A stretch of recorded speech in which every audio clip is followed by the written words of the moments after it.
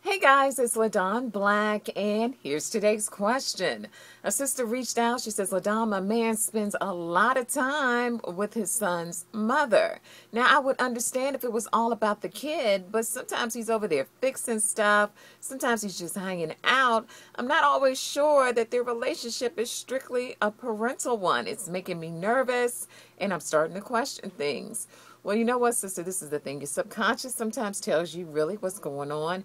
And if you find that he's over there a lot and it really has nothing to do with their son, then maybe there is still some connection there. But, sister, it starts with a conversation. You need to ask him what's his motivation when he spends so much time over there. And if it doesn't sound right to your sister, more than likely it isn't right. And maybe you need to be honest with him and let him know how it's affecting you. If he loves you, he'll roll it back. But if he doesn't roll it back, he's hanging in there with the child's mother because there's still something there. And maybe he wants to go back. Hmm, something to think about.